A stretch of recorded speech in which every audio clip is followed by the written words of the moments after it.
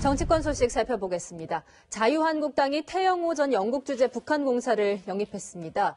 서울 지역구 후보자로 출마할 예정입니다. 한국당은 태전 공사 같은 대표 주자들을 서울에 집중 투입한다는 계획입니다. 안보겸 기자입니다.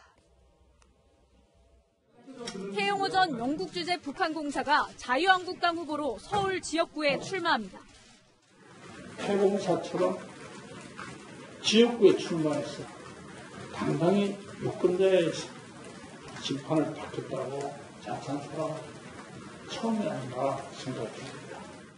2016년 탈북한 태정공사는 한국에서 북한 전문가로 활동하며 북한 김정은 체제와 문재인 정부의 대북 정책을 비판해왔습니다.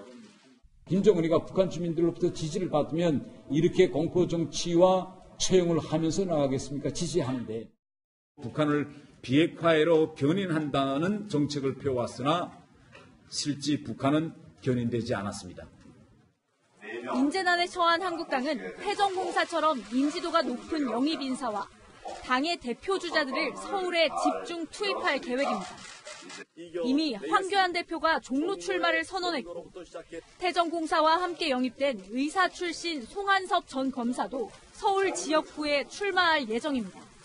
고향 출마를 고수하고 있는 홍준표 전 대표도 막판 마음을 바꿀 것이란 관측이 나오고 있습니다.